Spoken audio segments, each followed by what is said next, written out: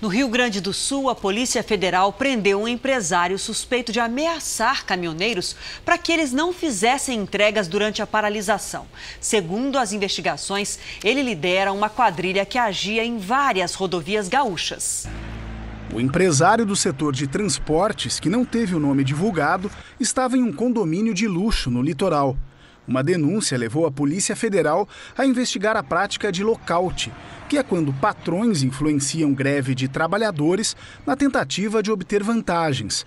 O homem foi preso temporariamente por cinco dias. Também foram cumpridos mandados de busca e apreensão em outras duas cidades. Um dos principais objetivos dessa quadrilha era provocar o desabastecimento de grãos às granjas da região. Nesta mensagem de áudio obtida pela polícia, o empresário ameaça um dos caminhoneiros. Ô nego, para teus caminhão ali. Vieram falar aqui que ali no Alto Feliz tu tá andando com milho. Os guris já estão tão ligados. Tem uns caras escondidos ali nos morros das batatas, ali para cima.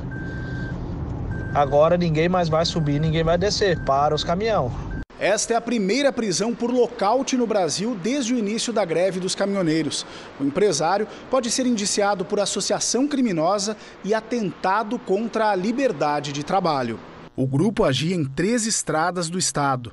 Os integrantes formavam um comboio para cercar os caminhoneiros e impedir o transporte das mercadorias. Os motoristas eram obrigados a uh, parar seus caminhões e, inclusive, aqueles que não concordavam eram retirados mediante violência ou grave ameaça.